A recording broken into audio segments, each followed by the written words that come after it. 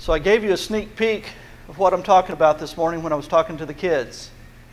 It's all about traveling today. And my wife and I, we love to travel. One of her favorite words is go. And so we like to go, and we love to go in a car. Uh, sometimes when we go on vacation, we'll, or if we're traveling somewhere, we will know that we're going to leave on Tuesday. We're going to be back on the following Tuesday. We're going to stay at this La Quinta or at that Marriott, and we're going to do this on Monday and this on Wednesday and that on Friday. We're going to be very regimented. But most of the time, when we go on vacation, we know we're going to leave on Tuesday, and we know we're going to be back probably on Tuesday, but it might be Wednesday or Thursday. Uh, we know that we're going to head a specific direction. Hey, you know, California looks nice this time of year, or I think this time we're headed to Virginia. Um, but there's no, it's more spontaneous. There's no hard and fast rules. Um, everything is negotiable with, with our vacations. Um, there's a few things we try very hard not to eat at places that we have here, so we get a little bit of difference, different food on the road. Um, but those, those vacations, we call them tumbleweed vacations. Uh, we took one a couple of years ago. We ended up in Washington State. Just everything, everything worked that way. Um, and every day is a new adventure for us. That's what we really enjoy. In our scripture this morning, we heard about Abraham and how and about his adventure of faith, his long-term tumbleweed journey, if you will. Um, God was sending him to a land that he, he was going to get as an inheritance, along with his uh, son Isaac and his grandson Jacob. But they didn't really know where they were going. Uh, it actually said they, he went out without knowing where he was going. Scripture continues to say that Abraham was looking forward to a, a city that has foundations, whose architect and builder is God. See, I think I'd like to see that too. He was looking forward to getting into heaven. Way back in the first book of, the Bible, in Genesis, God had spoken to Abraham and had promised him three things. He had promised him a personal relationship, he had promised him numerous heirs, and he had promised him land. Now, he and his wife were very old. They were well past their childbearing years. Um, but they had faith. They had the faith that God was going to help them and God was going to provide. And God did provide. You see, our Lord fulfilled the promises, and Abraham's faith was fulfilled. Now, think about the, those early stories of Abraham. He was called Abram back then. And when he was back then, there was no Bible. There was no, they just had the stories. And so he didn't have all of this record of miracles to, to lean on. He just had the calling of God. God had called him and told him he was going to do this for him, and he had to believe him. And you and I, we should be thankful that he did believe him. You see, God, uh, Abraham is called the father of the people. We are all descendants of Abraham. Even the Jewish tradition acknowledges that Abraham was the first to worship the one God, the one true God. Now, Abraham and Sarah, they weren't perfect. In fact, they were, they, they were not very nice to each other frequently. They had doubts about all these things that God had promised them, but they never doubted the presence of God in their life. They always knew that God had his hand on their path, just like he has his hand on your path, and he has his hand on my path. Now, have you ever had doubts about whether God was involved in your life? If you haven't, that would be really odd because I think everybody has had some doubts at one point in their life. Um, maybe you're wondering if you're just wandering aimlessly or perhaps you're wandering with a purpose. Doubts are okay because doubts lead to questions, and questions lead to seeking, and seeking leads to finding. And finding is the proof, finding is the culmination It's the proof of what we're looking for, what we're hoping for. You see, in that opening verse of, of Hebrews 11, the writer told us, he gave us a great definition of faith. He says, faith is the reality of what we hope for and the proof of what we don't see. Now, that's from my Common English Bible. Maybe you're more familiar with the, uh, the version that says, Now faith is assurance of things hoped for, a conviction of things not seen. Or perhaps you're a little old school and you want to go all the way back to the King James Version. It says, Faith is the substance of things hoped for, the evidence of things not seen. You see, we can't see heaven, that's what we're all hoping for. It's where we hope to go when we pass from this earth. So it's all about faith, right? Or is it? When we talk about faith, we might say that someone has the faith to move mountains, or they might have the faith of Job. But Jesus told us, He says, we just need the faith of, a, of the size of a mustard seed. When we have faith, when we have hope, even just that little bit, we can allow ourselves to, to open up, open our mind, and to see God's work in our life. Open our mind and our eyes and see God's work in other people's lives. And when we're wandering through this, work, through this life, we need to watch. We need to watch for that evidence of God. So you remember when the angel came to Mary, told her that she was going to have a son, and she's like, "No, I'm, I'm a, I can't. I've never been with a man. The angel says, Nope, you are going to bear the Messiah. And she had to have massive amounts of faith because God's angel was talking to her. And she had to have faith that indeed this was God's angel and that this babe that she gave birth to, that she raised, was going to be the Messiah. And she had to have faith that fateful day when she sees him on the cross, that this is not the end, that this is the beginning. See, her faith and her service to God brought her fruits to her actions. And we remember the story of the three young men that, were, that King Nebuchadnezzar throws into the fiery furnace. You remember that one? I talked about it a few months ago.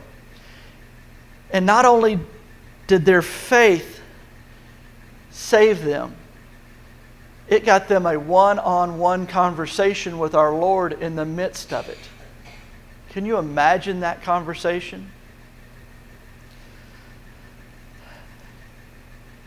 Their faith gave them something tangible, something to see, something to hear, something to feel when those Hebrew slaves were led out of Egypt? Do you think it was just a happenstance when they get to the shore of the sea that the sea dries up? Or was it the faith that Moses had brought that allowed God to provide them an exit? Now, these stories in our Bible, they have something in common. One main thing in common is that faith is not just some invisible force that Christians say they believe in. Faith is tangible, faith is visible, faith is audible. When you have faith that is fulfilled by God's promise, your faith turns into conviction. Now, where can your faith take you?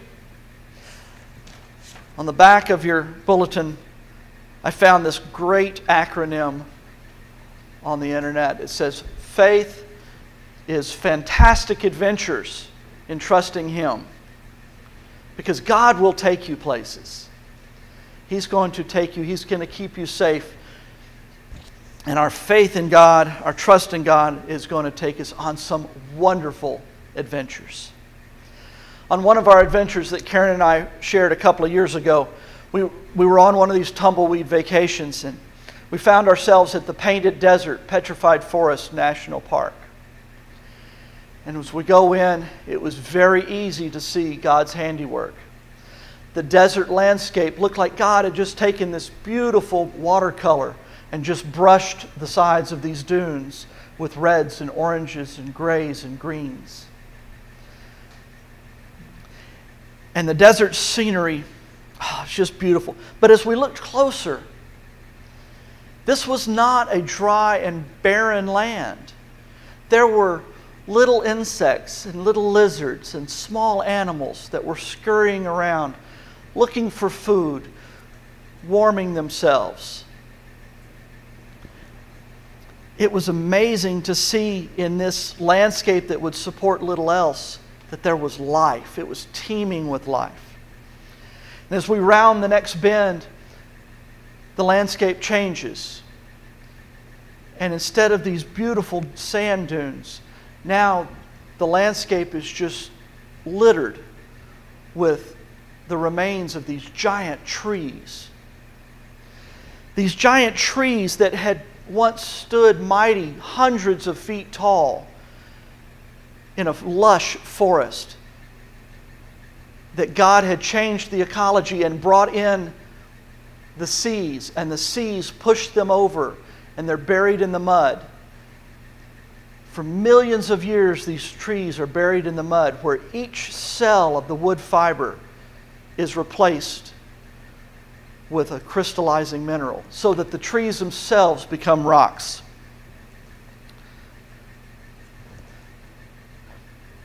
And God had changed this landscape over time from lush forest to ocean back to sandy desert. And each different ecology was teeming with life.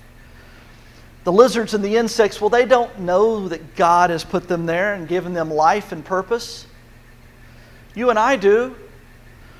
And it's our faith in God that separates us from those lizards and those simple desert creatures. I remember a story that I heard as a young man, as a young child, um, about a desert traveler. This traveler was going out across the desert and he was out of water and he was weak. He could barely walk, he could barely stand. And as he's walking across, he sees what he thinks is a mirage up ahead. It's just a simple hut. And he makes his way to this hut. He thinks if I can get to that hut, I can rest, I can cool off. And he gets closer, and it's not a mirage. There really is a hut there. And as he approaches, he sees it. There's a water pump in the yard of the hut. And he musters all of his strength that he can and he goes to the, goes to the water pump and he starts pumping the pump.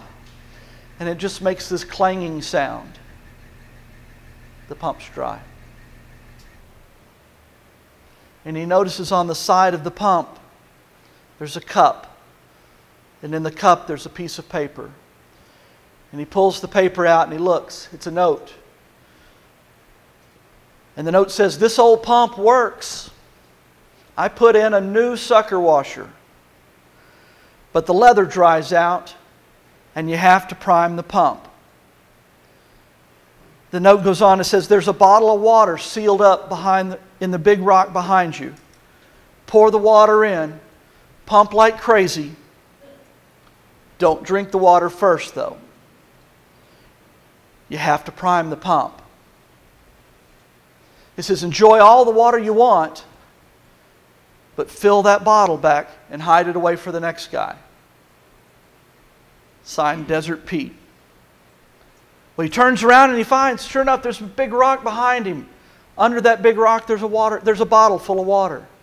And he pulls the cork out of the bottle and he looks, and he is so tempted to drink that water. If he drinks that water, he knows he can make it another day. But it might be three days to the next water. But if he primes the pump and, he, and the pump works, he's going to be good to go. He'll survive. Well, the story ends that he, he makes his decision.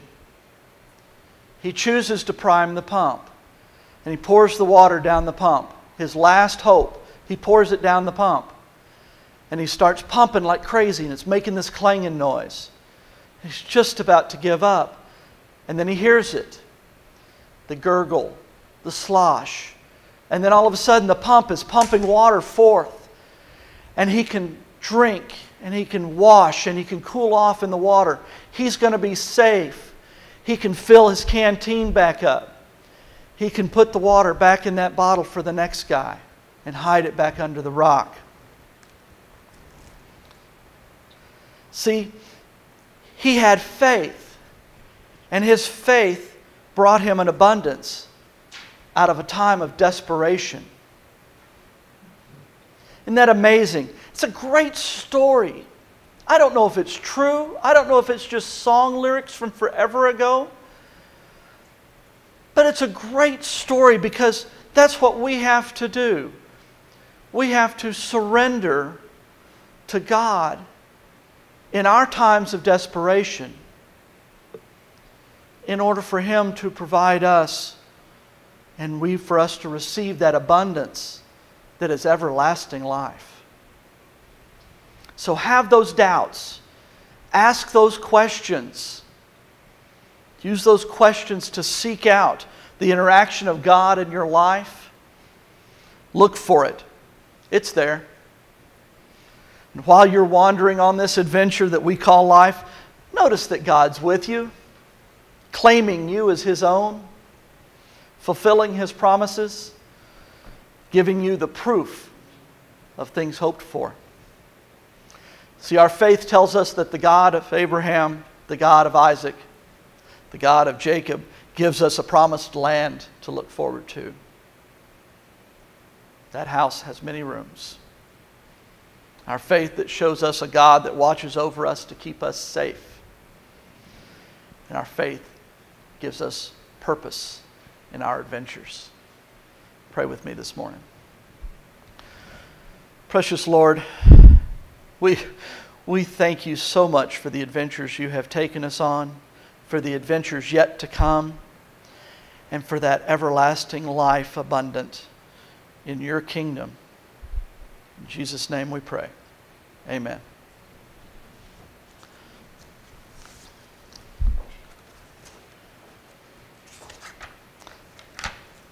This is our time of giving and thanksgiving for all that Christ has given for us. Amen.